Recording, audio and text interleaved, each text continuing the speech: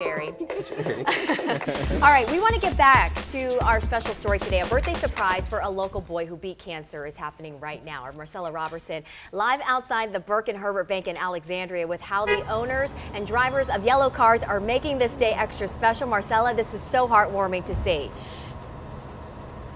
You guys, this is so hard. We can take a look here. The cars are coming around.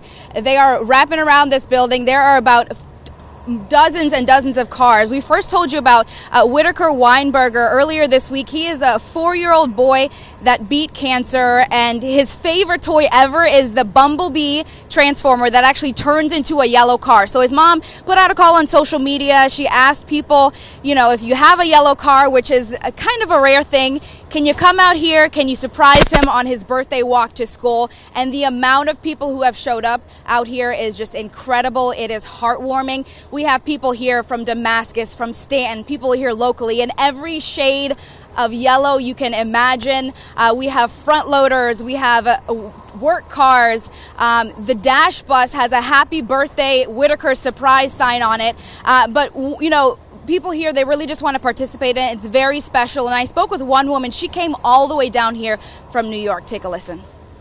He's a soldier, we're a fighter, and he's resilient. We never give up. So I wanted to be here to support him and to show that um, he can do this and he can get through anything, and his parents as well.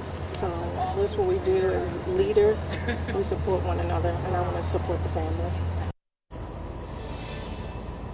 Go and that is just incredible. But you can see, so they uh, met here at the bank. They are wrapping around now. They are going to uh, be in place, and it's going to be a parade of yellow cars when little Whitaker walks out of his house this morning on his way to school at about 7:20. That's when uh, Whitaker and his family are going to walk out, and it is just going to be incredible. We will, of course, be sharing this with you guys on uh, social media and have a story for you guys later, and we'll be updating you uh, as this surprise unfolds. That's the latest here in Alexandria. I'll send it back to you guys. Yes, I love it. And it's a traffic jam that we like to see, Marcella, out there. Thank you so much. Absolutely.